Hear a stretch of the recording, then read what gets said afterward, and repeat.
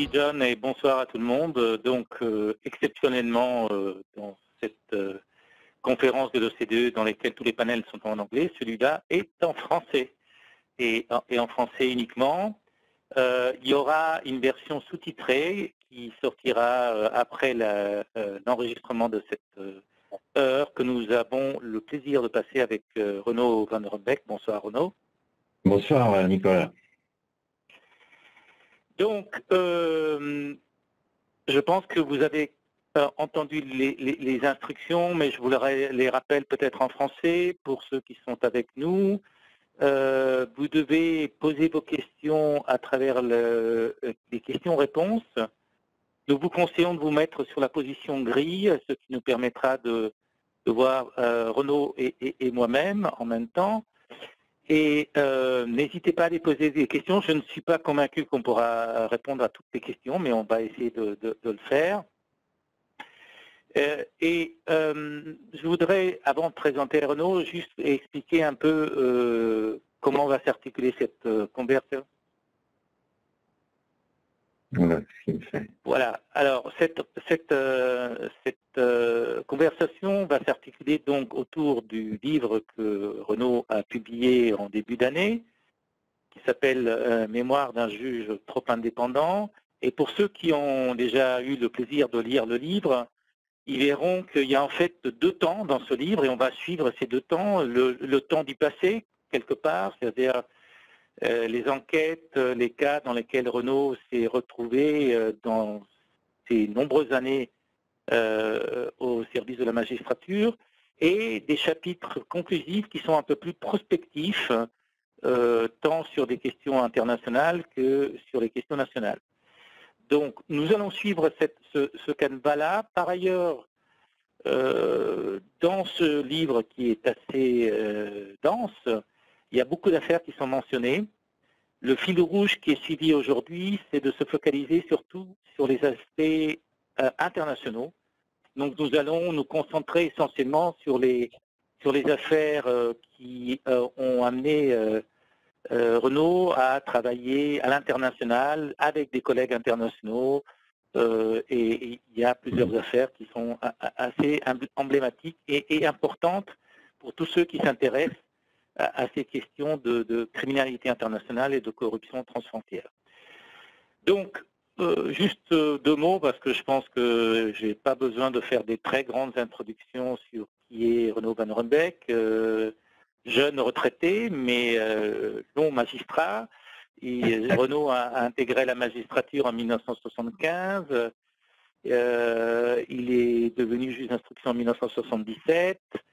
Euh, il a occupé différentes fonctions, notamment euh, il a rejoint le pôle financier euh, en, 2000 et il est donc il a quitté en, 2019. oui, c'est ça, en 2019, en juillet 2019. Hmm.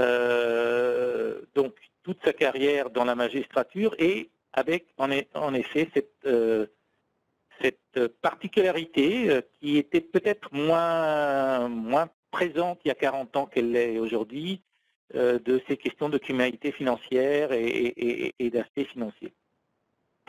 Voilà, euh, on se connaît bien avec Renaud, donc on ne va pas faire semblant de ne pas se connaître, donc on va se tutoyer.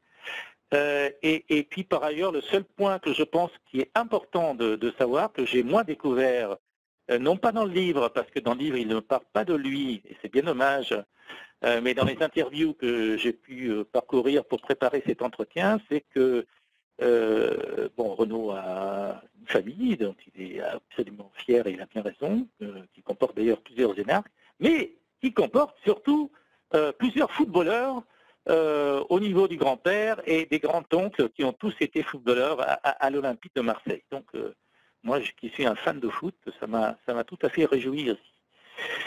Donc voilà, nous allons commencer et, comme je l'ai dit, dans un premier temps, on va s'intéresser à, au passé et j'ai sélectionné, alors c'est toujours la, prérogative du modérateur, j'ai sélectionné trois affaires que je trouve emblématiques et sur lesquelles on va passer un peu de temps sur chacune d'entre elles, dans lesquelles euh, Renault a été en première ligne, l'affaire Elf, euh, je dirais peut-être l'affaire fondatrice de toutes ces questions de, de corruption internationale, même si à l'époque la convention CDE n'était même pas entrée en vigueur.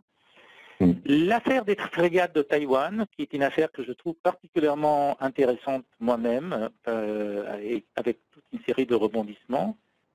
Et puis une affaire que j'ai connue personnellement quand, j'étais à l'OCDE, qui d'ailleurs est l'affaire qui a fait que nous nous sommes rencontrés, euh, qui est l'affaire euh, TSKJ ou, euh, Bonnie Island, dont on dira un mot. Donc, on va commencer par parler de ces trois affaires et pour chacune de ces trois affaires, je vais retenir quelques angles d'interrogation et quelques, et quelques questions. Donc, commençons par, ELF, qui est une affaire sur laquelle beaucoup a été écrit, beaucoup a été dit, qui date d'il y a 25 ans, donc il ne s'agit pas de revenir sur l'affaire, je pense qu'elle est relativement connue euh, par tout le monde, sur les grandes lignes en tout cas. Donc je vais, je vais poser des questions un peu plus précises euh, sur certains aspects de l'affaire qui, qui, qui m'ont euh, intéressé en lisant, en lisant ton livre, Renaud. Mhm. le premier, c'est, je pense que c'est la première affaire dans laquelle tu te heurtes à, la notion du secret défense. question que tu retrouveras d'ailleurs dans l'affaire des, frégates de Taïwan, question que d'autres magistrats euh, ont retrouvée sur leur euh, route euh, tout au long des 25 dernières années, question que des magistrats d'autres pays d'ailleurs retrouvent sous un angle différent, qui s'appelle National Security, mais c'est en fait exactement la même chose. Donc, je voulais avoir un peu ton point de vue sur comment tu, tu as réagi à l'époque, est-ce qu'il y a des choses que tu ferais de façon différente aujourd'hui, euh, avec ton expérience d'aujourd'hui par rapport à, ce qu'on t'a dit à l'époque? Est-ce que tu penses que ces questions de secret défense, qui en fin de compte est une question compliquée parce qu'il est légitime d'avoir un secret défense, euh, c'est normal, ça fait partie des prérogatives de, tout pays, et en même temps, on ne peut pas s'empêcher de penser que parfois le secret défense est usé et abusé. Donc, quelles sont tes réflexions sur, sur cette notion et cette difficulté que les magistrats français, mais je dirais les magistrats du monde entier, ont, à, enquêter sur des questions qui relèvent du secret défense? Oui, euh, bah, bonjour à tous. Euh, effectivement, Nicolas, on a eu l'occasion de se rencontrer euh, à l'OCDE, l'OCDE, pardon, OECD, à l'OCDE, euh, notamment sur, euh, sur ces problèmes de, paradis fiscaux. On va y venir. Alors, le secret défense, pour répondre euh, à ta question, pour moi, il va à l'encontre, il est normal qu'il existe. je n'ai pas perquisitionné la DGSE, je n'ai pas perquisitionné des, établissements qui, effectivement, on peut comprendre que là, il y a un secret défense. Par contre, je n'ai pas compris du tout qu'il me soit, qu'il m'ait été opposé dans les deux affaires que tu as citées, euh, ELF d'abord, et ensuite euh, les frégates Taïwan. Pourquoi?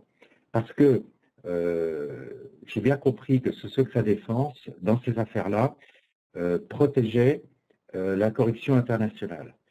C'est-à-dire que dans les deux cas, qu'il s'agisse de l'affaire ELF ou des, frégates de Taïwan, dans les deux cas, la suspicion qui existe, qui est forte, la justification de versement de commissions, soit des intermédiaires, soit sur des comptes masqués en Suisse. Euh, c'est dans le premier cas, pour elle, c'est pour dans le cadre de la France-Afrique, donc on parle de corruption africaine. Et dans le second cas, les frégates de Taïwan, il y a 500 millions de dollars de commissions qui sont versées à l'intermédiaire, c'est quand même énorme, sur un contrat de 2 milliards de dollars, c'est-à-dire 20%.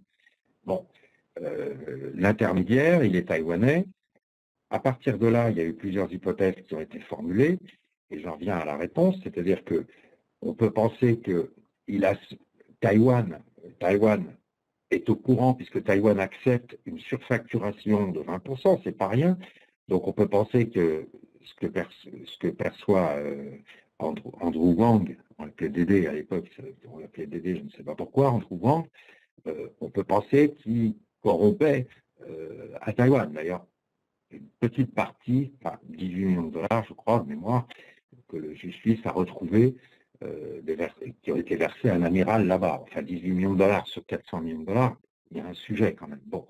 Donc la suspicion, c'était ça, c'était consistait à dire soit c'est une corruption taïwanaise et il y a au moins partiellement une corruption taïwanaise. Il peut y avoir une corruption chinoise parce qu'il fallait l'accord des Chinois, fallait qu'ils ferment les yeux pour que la France puisse vendre des frégates quand même à, Taïwan. Et puis il pouvait y avoir l'hypothèse de, de rétrocommission en France, soit vers des partis politiques, soit vers des, dirigeants. Tout ça, ce sont, des hypothèses. Mais je veux dire, dans les trois cas de figure, euh, il n'y avait pas de raison de m'opposer le secret défense. Je, ne demandais pas je demandais pas les codes euh, nucléaires pour appuyer sur le bouton des frégates, c'est pas ça qui m'intéressait, c'était la destination des commissions. Or, à l'époque, les, commissions étaient défiscalisées et déclarées à Bercy, déclarées aux douanes. Bon. Et dans la mesure où elles étaient déclarées aux douanes, elles étaient défiscalisées. Donc, il y a, eu des déclarations de fait dans, Taïwan, et ce que je voulais, c'est savoir à qui, du moins, l'entreprise prétendait-elle verser ses, commissions. Même chose dans l'affaire Elf. Dans l'affaire Elf, je me souviens être allé dans le bureau des douanes. Alors, je crois que c'était la première fois, on est en 2000, 2000-2001, c'est la première fois qu'un juge en France va se heurter au secret défense à ma connaissance, dans un dossier de, corruption internationale. Bon, euh, là, je rentre, je vais dans le bureau des douanes, où sont faites ces déclarations, et là, on me dit que tout est classifié. Je me souviens avoir dit d'ailleurs à mon interlocuteur, euh, euh, si, une entreprise vend des cacahuètes, je ne sais où, c'est déclaré dans votre bureau, donc c'est classifié. Alors là, on était sur de la France-Afrique, c'est-à-dire qu'on était sur soupçons, évidemment, euh, mais il y, avait, des éléments qui laissaient penser quand même que, ça existait. En tout cas, c'est ça qu'on protégeait, c'était euh, la corruption vers des responsables africains. Alors, ce que je veux dire, c'est que euh, on protège là des entreprises qui se livrent à la corruption internationale. Tu as dit toi-même tout à l'heure, Nicolas, tu as rappelé que la France a signé en 2000, elle a mis trois ans à ratifier la convention OCDE e qui marque un progrès très important puisqu'il il exige la répression de la corruption internationale. Il faut savoir que jusqu'à ce que la, convention OCDE e soit, soit ratifiée en France, c'est-à-dire jusqu'en 2000, la corruption internationale n'était pas une infraction. C'est-à-dire qu'une entreprise française pouvait corrompre à l'étranger on ne pouvait pas la poursuivre, du moins pas en France. Dans le pays étranger, oui, il y avait une corruption locale, mais en France, euh, c'était absolument impossible. Donc, le secret défense, pour moi, il permet en réalité de contourner l'application, la ratification de cette convention internationale. Alors, l'argument, il est très simple, c'est toujours le même, tu as dû l'entendre, Nicolas, l'argument, il est simple, si l'entreprise française ne corrompt pas, dans certains pays, on sait très bien comment ça marche, eh ben, c'est une entreprise allemande, c'est une entreprise japonaise, américaine, je ne sais quoi, qui va obtenir le marché. Donc, on ne peut pas faire autrement. Donc, on protège nos entreprises. Euh, tu disais que c'était vrai dans d'autres pays. Euh, en Angleterre, euh, c'était des ventes à l'Arabie Saoudite. Je ne sais pas si tu te souviens. C'était l'affaire BAE, British Aerospace. ils ont fait la même chose, c'est-à-dire que le, pour des questions de sécurité nationale, absolument. Oui, sur intervention du pouvoir politique, parce que on ne voulait pas mettre en, cause les bonnes relations, entre guillemets, entre la Grande-Bretagne et l'Arabie saoudite avec laquelle euh, on avait des contrats d'armement. Donc, ce que je veux dire, et ça, ça me paraît central dans le cadre de l'OCDE, c'est que ce secret défense permet de se soustraire à la Convention euh, sur la corruption internationale. D'accord. D'accord. Donc je pense que d'autres hmm, partageons probablement ton, tes inquiétudes, disons. Tu, viens de parler de quelque chose d'important euh, qui est aussi le rapport aux, politiques. Euh, mm. Dans l'affaire Elf, tu, es aussi dans un cas qui a, qui, a eu un grand retentissement politique. Et là, je voudrais te citer, euh, tu indiques dans ton livre que par rapport à la décennie précédente, donc les années 80, tu relèves que le rapport de, et là je te cite, le rapport de force entre la justice et le pouvoir politique a évolué au détriment du second. Et hmm. donc, c'est intéressant parce que c'est un constat que tu fais euh, donc à, ce moment-là. Est-ce que tu penses que ce moment s'est poursuivi et, quelle est ta vision maintenant du, du, du rapport entre, entre le politique et, et, le judiciaire? Nous parlerons de l'indépendance euh, plus tard, parce qu'à la fin de l'entretien, je sais qu'il y a un chapitre, ça se termine d'ailleurs sur la notion d'indépendance et le titre de ton livre, mais plus généralement, sur ce rapport entre le, politique et le judiciaire, tu dirais que les choses se sont plutôt améliorées, même par rapport à l'affaire Elf, ou qu'on est toujours dans une situation compliquée? Non, ça c'est, il y a une, révolution. C'est un peu ça aussi que j'ai voulu expliquer euh, dans le livre, parce que j'ai connu les deux périodes. Euh, j'ai connu les, affaires étouffées, euh, notamment par les parquets, dans les années 90, notamment 90-2000, où il y a eu, d'importantes affaires politico-financières. Bon, moi j'avais instruit l'affaire Urba. Mon collègue Eric Alphen, lui, avait instruit euh, l'affaire qui impliquait euh, le parti de, Jacques Chirac, euh, les HLM de Paris, etc. Bon, dans ces affaires-là, très clairement, les procureurs exécutent les instructions du pouvoir. Certains procureurs, ceux qui occupent des postes clés et qui sont nommés par le pouvoir et qui sont souvent proches d'eux. Et moi, je me suis heurté à ça, parce qu'il faut savoir qu'un juge d'instruction, il instruit sur les faits dont il est saisi. Il est saisi par qui? Essentiellement par le parquet, parfois par des parties civiles. Enfin bon, dans ce genre d'affaires, il n'y a pas beaucoup de gens qui déposent plainte, encore qu'aujourd'hui, on a quand même des associations euh, qui, qui, ont essayé de vaincre l'inertie du parquet, euh, à l'époque en tout cas. Bon, mais ça, verrouillait complètement. C'est-à-dire que euh, lorsque j'instruisais un fait A, par exemple, un fait sur un million d'euros, j'allais en Suisse, je découvrais 7 ou 8 millions d'euros, pour inscrire sur les 6 ou 7 autres millions d'euros, il fallait que je demande le, feu vert du parquet et je ne l'avais pas. Donc j'étais bloqué. Je suis indépendant, mais euh, le parquet n'était pas. Alors, ça, c'est vrai jusqu'en 2000. Et avec l'affaire ELF, les choses ont commencé à changer sérieusement. Et je pense qu'aujourd'hui, elles ont complètement changé. C'est-à-dire qu'aujourd'hui, on n'est tous plus une affaire. Euh, regarde euh, des exemples dont on parle, qui ne sont pas forcément des grandes affaires euh, financières, mais enfin, regarde l'affaire l'affaire Kelzac, l'affaire Sillon, un article de presse, le parquet s'en empare, saisit un juge d'instruction et, personne ne peut arrêter la, justice. voilà, donc on, est passé du, Moyen Âge, je dirais, à une époque où effectivement les, politiques ne peuvent plus euh, verrouiller la justice. Euh, avec ce risque aujourd'hui, que j'explique aussi dans le, livre, c'est qu'il peut y avoir des manipulations. Hein. C'est-à-dire qu'on ne peut plus empêcher les juges d'avancer, on ne peut plus empêcher les procureurs bah, d'ouvrir des dossiers quand, euh, quand, ils sont informés de certains faits, notamment par, par la presse ou ailleurs, ou par d'autres moyens, bien sûr. Mais on, peut lancer, on peut lancer une piste, une vraie ou une fausse piste, sachant que la justice va embrayer pour euh, déstabiliser un adversaire. il y a ce risque de manipulation qui, existe aujourd'hui. Pour répondre complètement à, ta question, l'affaire Elf, elle se situe au milieu. elle se situe en 2000. Il faut savoir que moi, je, rejoins euh, le pôle financier en 2000. L'affaire Elf a déjà 4 ans. Elle a déjà été instruite pour une bonne partie par Eva Joly et Laurent Junieski. Et Eva Joly a eu cette, euh, cette capacité, en quelque sorte, d'obtenir du parquet, au fur et à mesure qu'elle découvrait des faits, des, ce qu'on appelle des supplétifs, c'est-à-dire qu'elle était saisie des nouveaux faits par le parquet. Donc, quand j'arrive à Paris et je vais instruire ce dossier, je vais le terminer, je vais remettre un peu tout sur place, je vais aller en Suisse, etc., pour démonter un peu tous les circuits internationaux, mais j'ai déjà un grand feu vert. Voilà, c'est un grand feu vert parce que l'affaire euh, va, aboutir à un jugement, etc.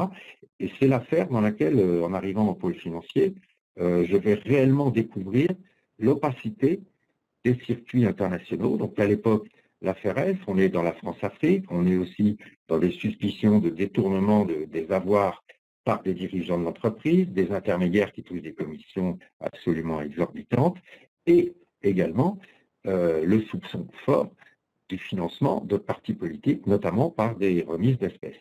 Voilà, il y a eu, euh, je n'ai plus le chiffre en tête, mais je crois qu'il y a eu 200 millions, euh, des centaines de millions de, francs suisses, j'ai le chiffre, le chiffre dans, le livre, qui sont retirés en espèces, euh, c'est-à-dire qui sont livrés par les Suisses dans un mécanisme de, blanchiment Sirvin, qui était le, principal dirigeant qui avait la main sur la caisse noire de d'Elf. cette caisse noire qui servait théoriquement à la France-Afrique, on a vu tout à l'heure que c'était couvert par le secret défense, paf, il y a déjà une porte qui est fermée.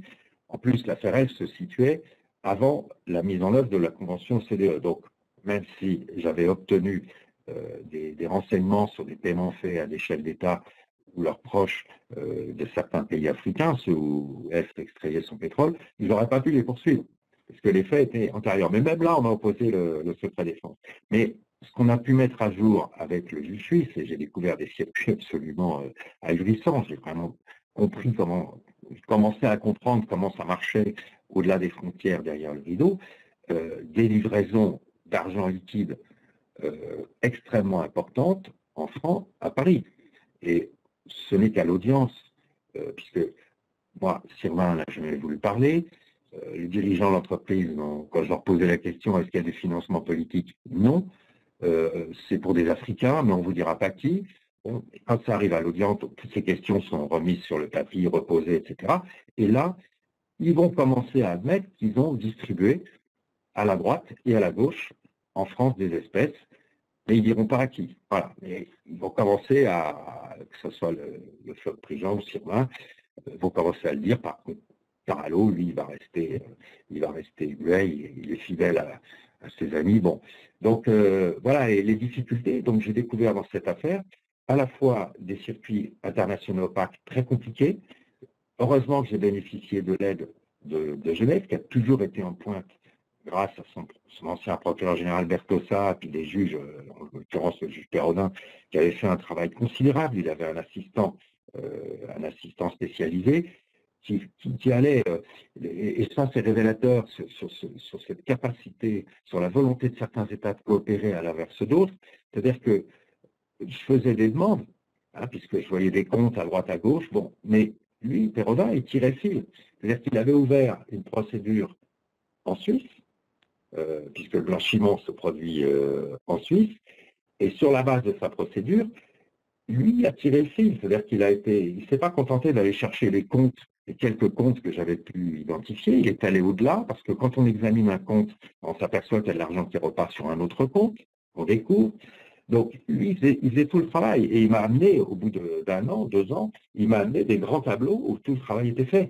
Pourquoi je te dis ça, Nicolas? Parce que quand je fais les mêmes demandes à Singapour ou à Hong Kong, je demande un compte A d'un monsieur X, on va me donner les relevés du compte A, point barre. C'est-à-dire que, et là, je vais m'apercevoir que bah, sur, ce compte A, euh, il y a de l'argent qui part sur un compte B dans la même banque, il ne me le donne pas. Donc, il faut que je refasse six mois après une demande et ainsi de suite. C'est ce que j'appelle une coopération euh, au compte-goutte. Hein, on marche à reculons. En on, réalité, on, y arrivera en deuxième partie de, je, suis pris dans mon, dans mon, dans mon élan, tu vois. Non, non, mais on va, on va quitter l'affaire Elf, mais rester sur les mêmes problématiques et, et, parler rapidement de l'affaire des frégates de Taïwan. Euh, tu as commencé déjà à en parler. Moi, il y a deux points qui, m'ont intéressé dans, la description de l'affaire. Euh, tu parles des rétrocommissions et tu as l'air d'indiquer que, en tout cas à l'époque, encore une fois, c'était une pratique courante. C'est-à-dire que mm. souvent, dans ces questions de corruption internationale, tu avais des rétrocommissions.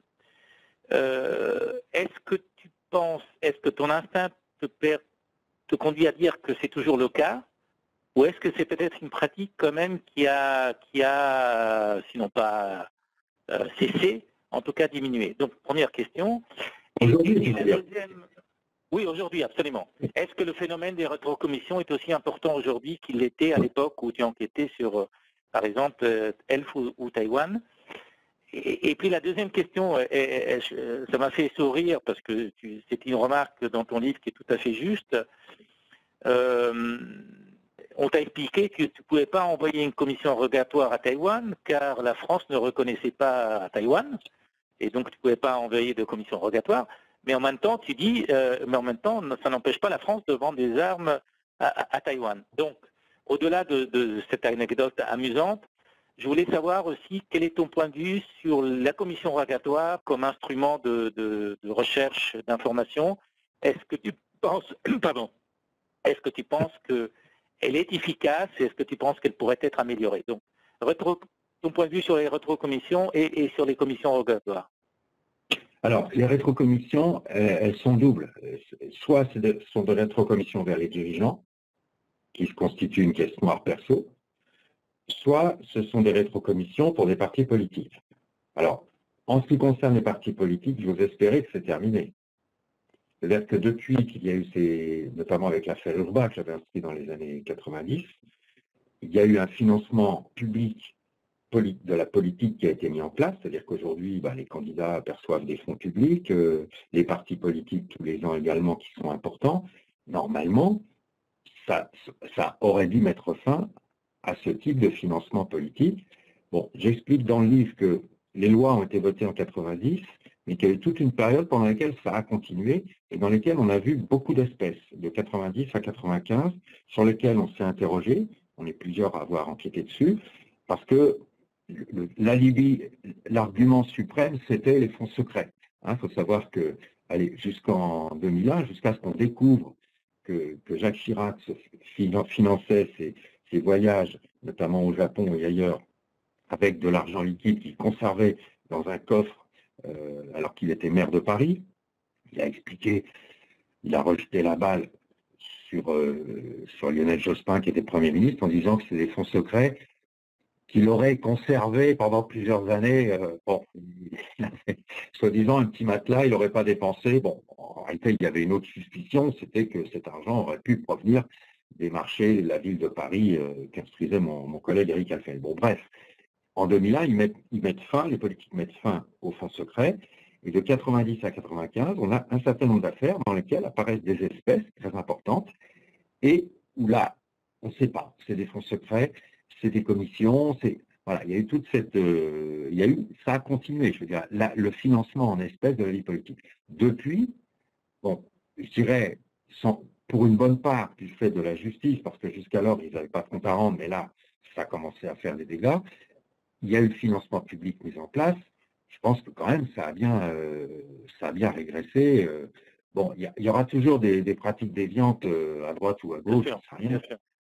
Ou, alors les, affaires qu'on a aujourd'hui, c'est plus des affaires de, d'assistants parlementaires qui sont pris en charge par le Parlement européen ou voilà, est-ce qu'ils travaillent vraiment pour le Parlement européen? Voilà, on est dans ce type de problématique, mais je, pense qu'on n'a plus ce, parce que j'ai connu une époque où le financement de la vie politique était pour l'essentiel, euh, parce qu'il n'y avait que les cotisations des, des sympathisants des frais qui augmentaient, pour l'essentiel, c'était pris sur les marchés publics. Voilà, c'était du trafic d'influence, c'était. Puis alors, le pire des systèmes, c'était les espèces. Donc, pour, le, voilà. Donc, ça, tu penses que le problème peut-être pas totalement résorbé, mais disons. Non, il y aura toujours des, exceptions, aura toujours des élus qui. En revanche, ça, ça m'intéresse. Donc, les retrocommissions pour les dirigeants, tu penses que c'est quelque chose qui est toujours pratiqué? Ah, Je pense, oui, parce que l'opacité des circuits permet cela. C'est-à-dire que, euh, alors, on, a, alors je ne sais pas si c'est vrai, il y a l'exemple aujourd'hui de, Carlos Ghosn, j'en sais rien, moi je ne connais pas l'affaire, je la connais qu'à travers le... Mais je veux dire que ce n'est pas compliqué aujourd'hui pour un dirigeant d'une multinationale euh, de détourner de l'argent dans des circuits internationaux d'une façon totalement, euh, totalement opaque. donc là, je pense qu'effectivement, le système le permet. Bon, je serais quand même surpris qu'il n'y ait pas d'enrichissement à ce niveau-là. En tout cas, je pense les lois sur le financement public n'ont certainement pas mis fin. La seule chose qui peut, qui peut y mettre fin, c'est que là, euh, il y ait des peines qui soient prononcées, qu'il y ait des, enquêtes qui avancent, qui progressent et qui fassent réfléchir. Voilà, mais ça, je crois que malheureusement, ça existera toujours. D'accord. Et, juste un mot hein, rapide avant de passer à la, troisième affaire, parce que je vois qu'on est déjà à la moitié de l'entretien. Sur, sur les commissions rogatoires, quelle est ton, ton, ton analyse? Est-ce que c'est un instrument efficace, utile euh? ben, Il est indispensable. Euh, si je veux avoir des comptes euh, à Singapour, à Hong Kong ou je ne sais où, le seul moyen d'avoir les comptes officiellement, indiscutablement dans la procédure, qui permettront d'en tirer les conséquences juridiquement, c'est la commission rogatoire.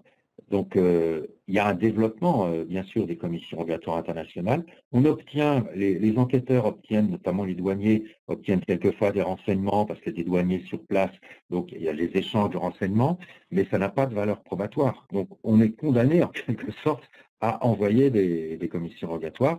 Et là, va se poser le problème du circuit, c'est-à-dire qu'il y a des, au sein de l'Europe, aujourd'hui, maintenant, on peut envoyer directement sa commission rogatoire au juge qui va l'exécuter ou au procureur qui va l'exécuter, et c'est tant mieux.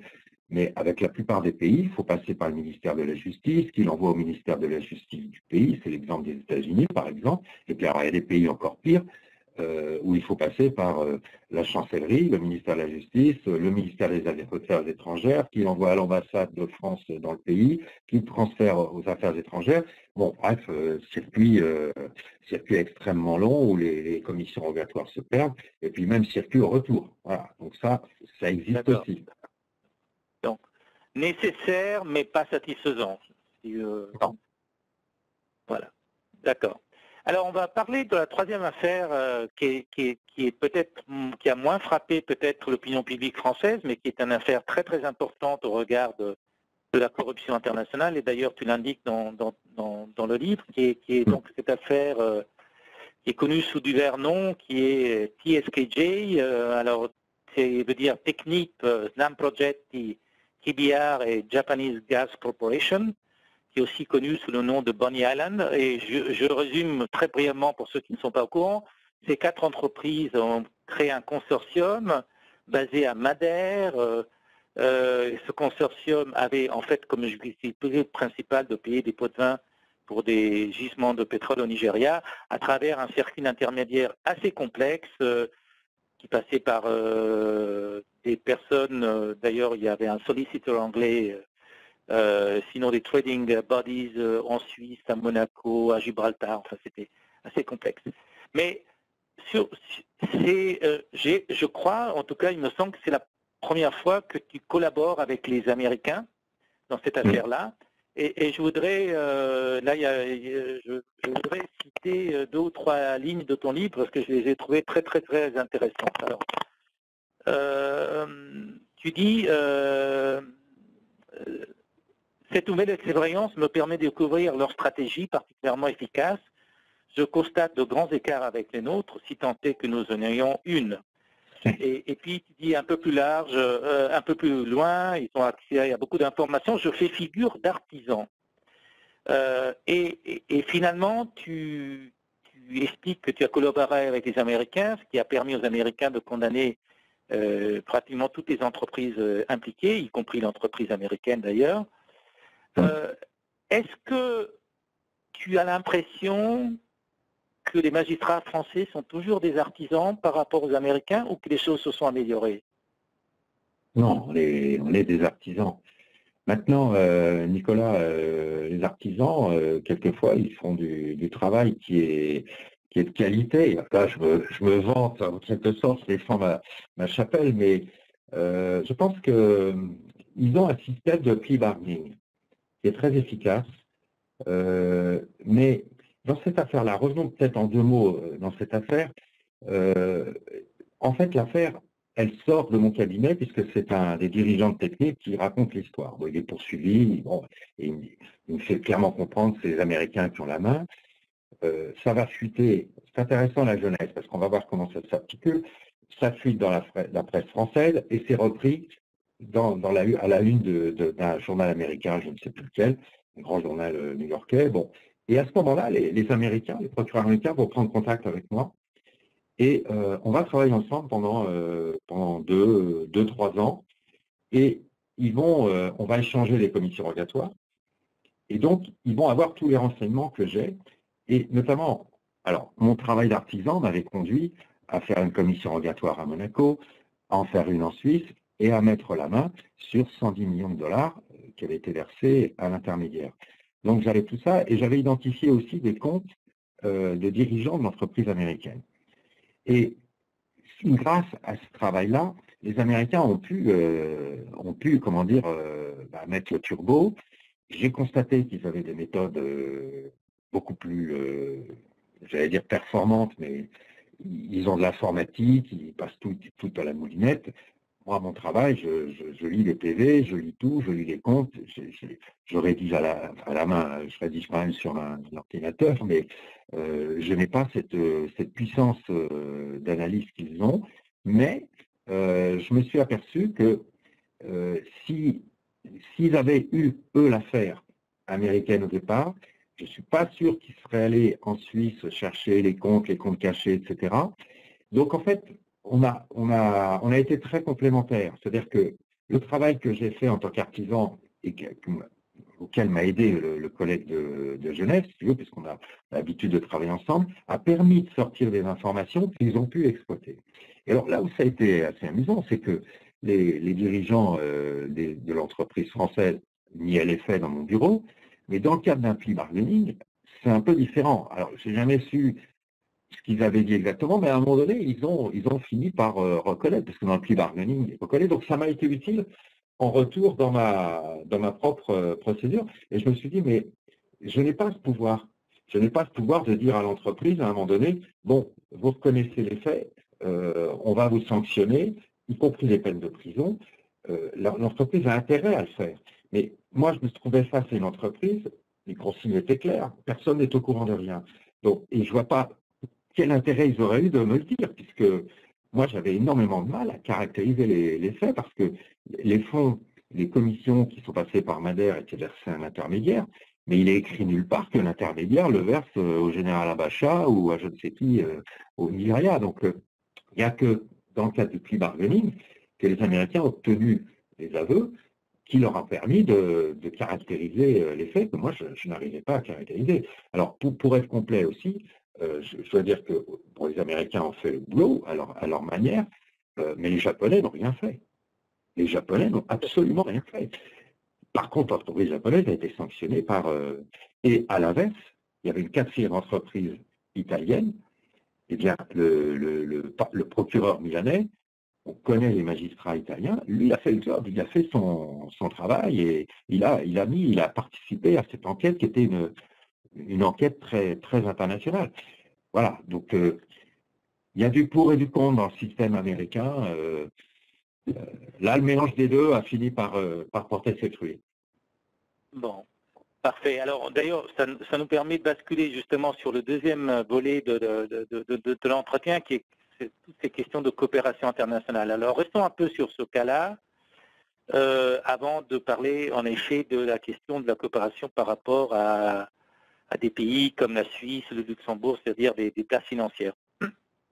Donc dans cette affaire, encore une fois, tu indiques que euh, tu, as, évoqué ta collaboration avec, la DOJ américaine, le fait que, et là je te cite, tu n'es pas hostile, bien au contraire, et tu indiques quelques lignes plus tard d'ailleurs que la justice, je te, je te cite, la justice n'a ni drapeau ni frontière, elle est universelle. Bon, alors ça, c'est le, point de départ.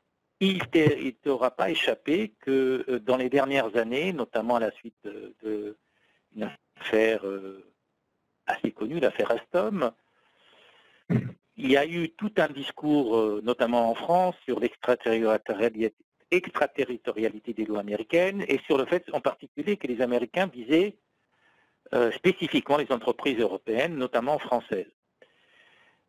Alors, je voulais avoir un peu ton opinion, justement, sur la base aussi de, ton travail avec les Américains. Est-ce que tu penses qu'il y a un agenda politique euh, derrière les poursuites américaines ou est-ce que tu n'as pas cette impression-là? Et quels sont, quels sont tes sentiments sur cette question? Bah, tu sais, Nicolas, moi, je veux parler que de ce que, je connais. Euh, dans, dans TSKJ, l'entreprise qui a été sanctionnée le plus en montant d'amende, c'est l'entreprise américaine, Kellogg's Brown. Il faut quand même savoir que Kellogg Brown était, était, la filiale d'Ali Burton, qui avait été présidée par Dick Cheney, qui était vice-président des États-Unis. Donc, euh, euh, on ne peut pas dire qu'il euh, n'est pas sanctionné l'entreprise américaine.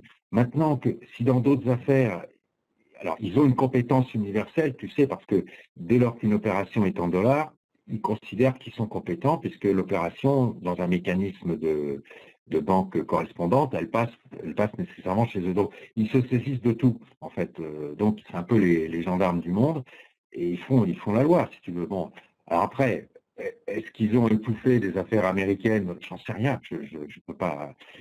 Moi, le, peu que j'ai vu, ils ont, euh, ils ont sanctionné lourdement l'entreprise américaine. Voilà, tout ce que je peux dire. Très bien. Euh, passons donc euh, à, la coopération internationale, notamment sur les, données financières. Alors, ce qui m'a frappé dans, le livre, c'est que tu, tu l'as déjà évoqué dans l'entretien d'ailleurs, tu indiques de quelle manière tu as été assisté par tes collègues suisses à plusieurs reprises sur plusieurs affaires.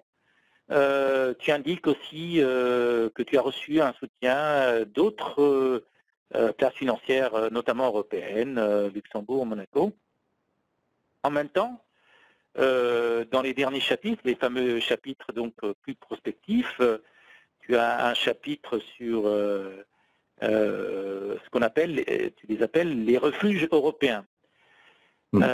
donc, quel est, ton point de vue en fin, de compte sur, cette coopération euh, sur les données bancaires et, financières? Euh, Est-ce que les choses se sont améliorées globalement? Euh, Je te rappelle l'appel de Genève que tu as fait en 1996. Est-ce que le problème est européen, extra-européen? Quel est ton point de vue? Alors, les, choses se sont évidemment améliorées depuis l'appel de Genève, notamment en Europe. C'est-à-dire que aujourd'hui, la Suisse euh, coopère bien, euh, le Luxembourg aussi, euh, toujours bien coopéré, le Luxembourg, le Liechtenstein. Alors, ce sont trois pays qui coopèrent bien, mais il y a des, des voies de recours en interne qui ralentissent la transmission des informations.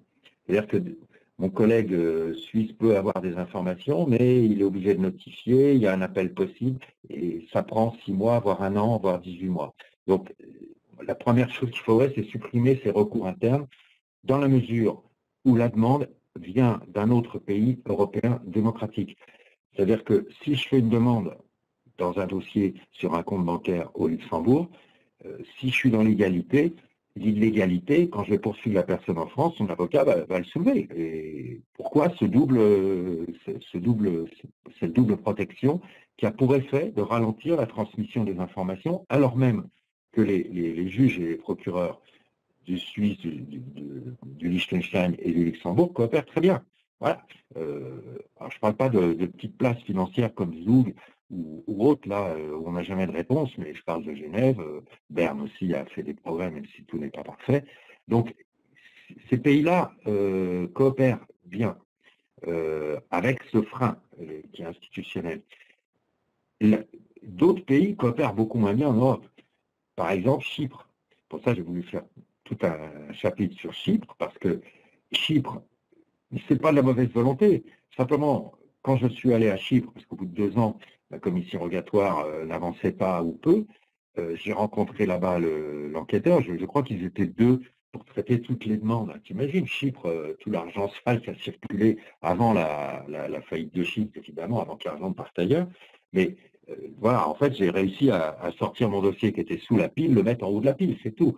Mais voilà un exemple où il faudrait que ce pays se dote de moyens pour, pour traquer le blanchiment. Euh, j'étais à Gibraltar où j'ai constaté, là aussi ça ne marchait pas. J'y suis allé, ça a marché, très bien. Les îles anglo-normandes, euh, pareil. Euh, ce que je te dirais quand même, pour, avoir une vision globale, c'est que ça s'améliore quand même en Europe, même s'il y a encore des points noirs comme Malte, tout ça, je ne le sens pas trop, mais ce qu'il faut voir, c'est que j'ai vu notamment, on l'a vu dans l'affaire Cahuzac, bon, été jugé, c'est public, euh, on voit bien qu'en 2009, il a ses avoirs en Suisse, comme d'autres Français, mais en 2009, et Nicolas est mieux placé que moi pour le savoir, il y a eu des accords de prix, notamment en matière de coopération, je crois même fiscale, entre euh, la Suisse et l'Europe, même si ce n'est pas parfait, et l'argent est parti. Euh, bah où est-ce qu'il est parti? Il est parti à Singapour. C'est-à-dire qu'il y a eu des délocalisations. C'est-à-dire que l'argent est toujours géré en Suisse, de Suisse, mais les fonds ont été transférés au nom de sociétés offshore à Singapour et avec en plus un écran intermédiaire on nomme un gérant, une gestion qui est fictive, mais qui est quelqu'un qui est lié à la, banque suisse ou à la fiduciaire suisse à Dubaï. hein, parce que Dubaï, c'est devenu aujourd'hui l'Eldorado de, la plupart des, fraudeurs. Euh, là, alors Dubaï, euh, coopération, commission rogatoire, je ne sais pas s'ils les reçoivent, mais elles ne reviennent jamais. Bon. Et, Et les mandats d'arrêt, y compris sur des Français, jamais, pas exécutés, pas extradés. Bon, donc alors on ne sait pas, c'est entre les Émirats arabes unis, entre Dubaï, il y a un truc qui se passe. En tout cas, c'est une nouvelle Eldorado euh, pour l'argent noir et les fraudeurs l'ont compris. Hein. donc euh, a même euh, fait part récemment d'une affaire en Italie avec des mafieux et les, mafieux avaient placé leur argent à, Dubaï. Donc on a un transfert qui va vers des places ailleurs. les îles Caïmans, etc., bon, on connaît, mais Singapour, Hong Kong, alors peut-être moins aujourd'hui, il y a eu le Liban aussi, mais le Liban, c'est un peu comme Chypre, euh, c'est tombé. Donc euh, voilà, on repart à Dubaï et puis on va trouver d'autres places au fur et à mesure que. Donc voilà, le problème n'est pas réglé, tu vois. C'est-à-dire que c'est un problème, il faut déjà faire le ménage en Europe. C'est pour ça que j'ai abordé ce chapitre, euh, les refus européens. Mais une fois que ça sera fait, ça l'est partiellement, ça l'est pas totalement, loin de là. Il faudra aussi que l'Europe exporte son savoir-faire Hein, on copie toujours les États-Unis, mais on peut peut-être montrer, on est, on quand même des grandes démocraties, on peut aussi exporter, mais il faut éradiquer euh, ces paradis fiscaux et exiger de tous ces pays qu'ils coopèrent. Souvent, c'est des petits pays, pas bien compliqué de, leur mettre des sanctions commerciales ou financières. On le fait avec des pays euh, comme l'Iran ou ailleurs. Bon, c'est même des guerres en Irak quand, quand on n'obéit pas. Donc on ne va pas dire qu'on ne peut pas éradiquer simplement c'est ma conclusion dans le livre, ce que je souhaite. Alors, je suis un utopiste, hein, euh, je suis un juge, euh, comment dire, euh, frustré quelque part, mais je rêve d'un monde où eh ben, on, soit transparent dans, toutes les transactions financières, non pas entre entreprises, parce que je comprends très bien qu'il y a un secret entre entreprises, mais en tout cas vis-à-vis des, autorités publiques, parce que tant, tant qu'on ne remédierait pas à ce problème-là, le blanchiment continuera à prospérer. Euh, oui, écoute, je trouve ça très intéressant, ton analyse de, cette euh, délocalisation et en même temps, l'argent reste quand même contrôlé par les Européens quelque part, mais euh, géré ailleurs. Je, porte d'ailleurs à l'attention des auditeurs que tu as co-signé il y a deux semaines à peu près un appel de 14 économistes sur le fait de créer un, cadastre financier européen à la suite de, l'enquête euh, du journal Le Monde Open Lux. on ne pourra pas y revenir parce qu'on n'a pas le temps, parce qu'il nous reste 10 minutes et je voudrais qu'on parle un peu de toi sur deux aspects euh, peut-être un peu plus justement personnels euh, pour terminer cet entretien. il se trouve aussi que, étant quelqu'un qui a qui a quitté l'OCDE il y a maintenant un an et quelques, qui, qui a embrassé la profession d'avocat, j'étais particulièrement sensible à, ta description des relations entre magistrat et avocat, euh, qui est une relation, comme tu sais, un peu compliquée euh, globalement, mais tu as une vision, je dirais, beaucoup plus apaisée, en tout cas, de, cette relation. Donc, j'aimerais que, tu en dises un mot avant d'aborder en, dernier point euh, la question fondamentale de cette indépendance qui, est le titre de ton livre. Donc, juste hmm. quelques minutes sur, sur, les, sur la, comment tu vois la relation entre les magistrats et les avocats?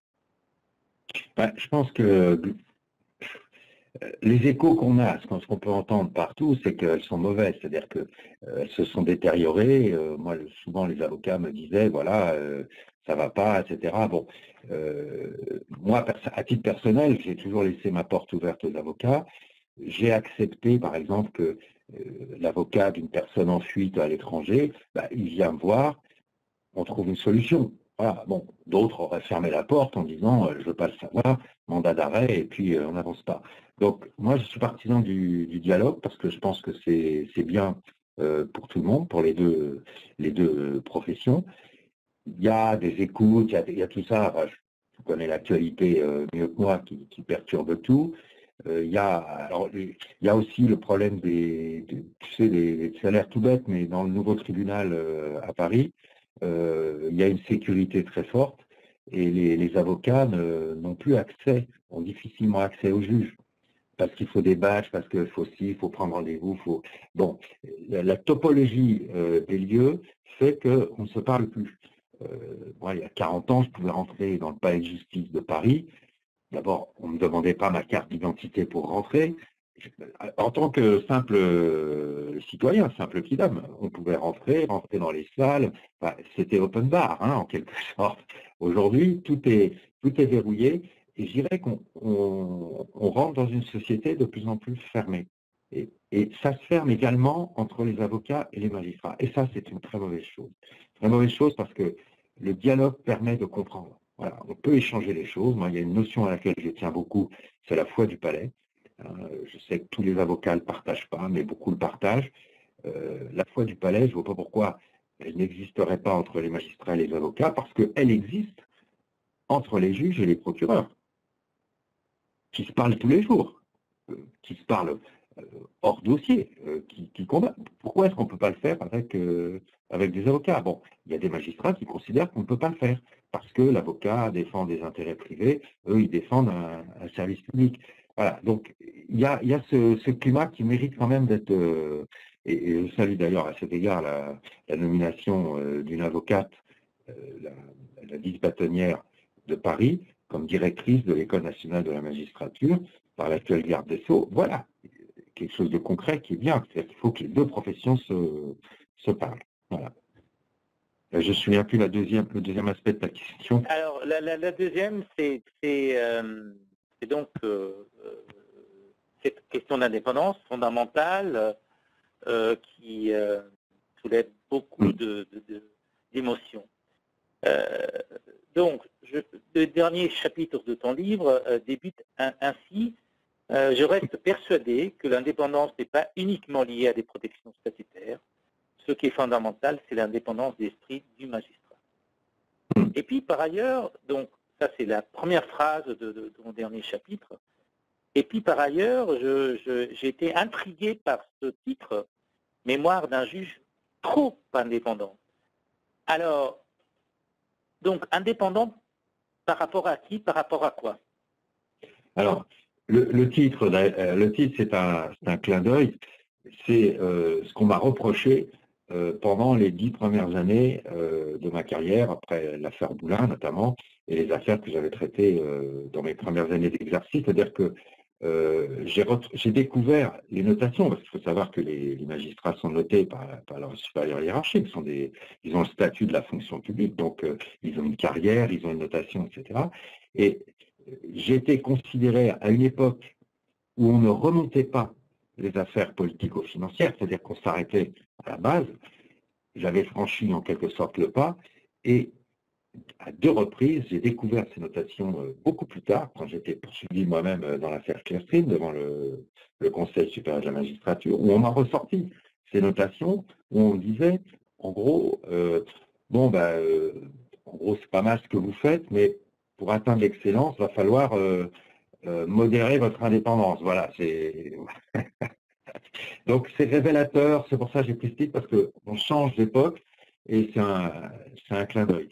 Euh, ceci dit, euh, comme tu l'as rappelé tout à l'heure, euh, je l'écris dans le dernier chapitre, je pense que l'indépendance, c'est pas seulement une indépendance statutaire, c'est une indépendance d'esprit qu'il faut avoir vis-à-vis de tout, vis-à-vis de tous ses interlocuteurs. Le, le, juge d'instruction, il a affaire à des enquêteurs, à des policiers, à des gendarmes, il a affaire au parquet, il a affaire à des avocats, il a affaire à des personnes euh, poursuivies et des parties civiles. Quand je dis qu'il doit être indépendant, il doit toujours avoir un regard critique sur ce qu'on lui livre. Voilà. Même même euh, vis-à-vis des enquêteurs. Quand les enquêteurs, j'ai souvent vu des dossiers euh, qui avaient été avec une enquête préliminaire qui avait été conduite par le parquet, on ouvre l'information, je convoque la personne, je la mets en examen, et là je découvre tout un univers qui n'a pas été exploré parce qu'on n'a pas écouté euh, la personne, parce qu'on n'était pas dans une phase contradictoire. Donc, il faut garder cette liberté de pouvoir dire, bah, les enquêteurs, oui, votre travail est bien fait, oui, mais il y a un autre aspect, et quitte à le remettre en cause.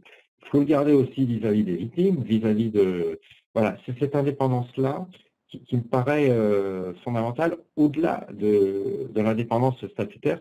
Alors, peut-être pour conclure sur l'indépendance, euh, ce que j'espère, mais on n'en prend pas le chemin aujourd'hui, c'est que les parquets deviennent totalement indépendants dans leur statut.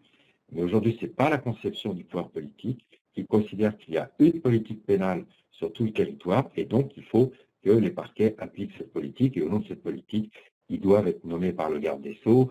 Voilà, il ne peut plus envoyer d'instructions individuelles.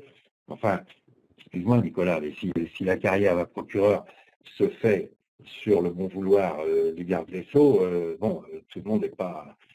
Il y a quand même un risque d'allégeance et d'autocensure qui est, réel, ce que Montgolfier appelait la culture de soumission. Bon, je ne dis pas que c'est général, je ne veux pas ajouter le, propre sur les, procureurs, mais je veux dire, ils n'ont pas les garanties d'indépendance pour les, juges. Et c'est une des choses qui me paraît importante parce que les parquets aujourd'hui ont de plus en plus de pouvoir, ils font de plus en plus d'enquêtes, des enquêtes préliminaires, et il, y a, une suspicion, notamment dans les affaires politico-financières, une suspicion à chaque fois des personnes qui sont visées. Souviens-toi, euh, Jean-Luc Mélenchon, quand il a ses perquisitions, il dénonce le fait qu'elles sont faites par un procureur. Donc lui, il pense que c'est fait sur ordre ou que c'est lié au pouvoir. Il y a cette suspicion qui est liée à, euh, ce cordon qui n'est pas, pas coupé, même si, encore une fois, aujourd'hui, les procureurs ont beaucoup plus grande liberté euh, qu'ils n'avaient, en tout cas ils l'ont prise, qu'ils n'avaient il y a longtemps. Mais les réformes n'ayant pas été faites, euh, ça peut changer du jour au lendemain. Il suffit d'avoir un, pouvoir euh, plus, euh, comment dire, plus fort, plus, plus autoritaire, et pour prendre les choses complètement en main et nommer lui-même les procureurs qu'il veut nommer. Donc, parce que les réformes statutaires n'ont pas été faites.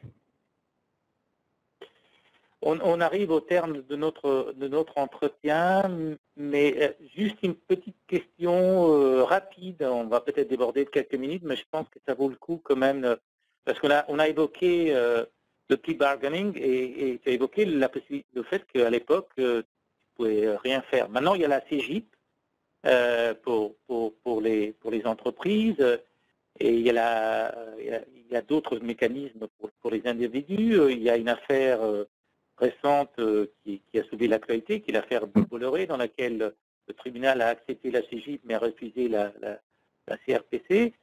Quelle est ton opinion générale, sans entrer dans le détail de cette affaire-là, parce que je ne vais pas te, mettre euh, sur le gris pour ça, mais quelle est ton opinion générale sur cette euh, justice transactionnelle ou cette, cette approche de... je, pense que au niveau des entreprises, euh, c'est une bonne chose. Je suis beaucoup plus réservé au, niveau des personnes physiques, au, niveau des dirigeants. Et d'ailleurs, je crois que est la, juge qui a refusé, euh, dans l'affaire que tu viens de citer, euh, je n'ai pas de commentaire à faire, je, constate simplement qu'elle a refusé la transaction du dirigeant personnel. Alors que pour l'entreprise, je crois qu'elle a, elle a validé, bon, je crois qu'il y a un appel en cours, bon, on verra, mais ça montre bien que la transaction c'est pas, d'abord, c'est pas dans la culture française. Il faut reconnaître que c'est efficace. Hein, ça permet de lever des sommes extrêmement importantes. Mais euh, regarde l'exemple d'Airbus aujourd'hui. tu as suivi Airbus. Airbus, tu as eu une CGIP en France, tu as eu, eu un, accord international. Euh, les Américains, les, Anglais, les Français ont mis des, des montants extrêmement importants à la charge de l'entreprise. On peut présenter ça comme un succès international. Euh, oui, mais euh, tu as vu la situation d'Airbus aujourd'hui. Euh, ce que l'État prend d'une main, eh bien oui, on le remet de l'autre bah côté. Là, la Covid n'était pas prévisible non plus. Hein.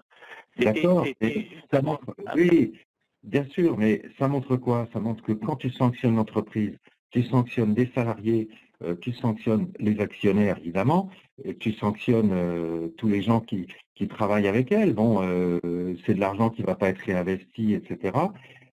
moi, je considère que la première responsabilité, c'est celle des dirigeants.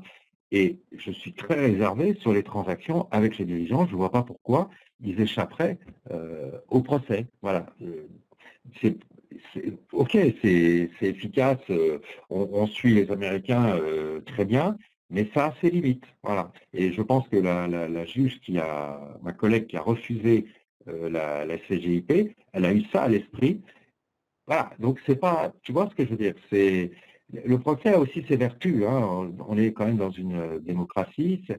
L'arrangement en secret, qui, ça, oui, bah on s'arrange avec certains, pas les autres. Euh, tu vois, il y a le problème d'égalité aussi dans la justice qui se pose. Ceci dit, je ne jette pas le, bébé parce que c'est vrai que transiger, euh, comme il y a une transaction, euh, notamment dans, dans HSBC, 300 ou 400 millions, bon, il y avait. Alors, on transige à la moitié en général des sommes, bon, tout ça, ça se discute.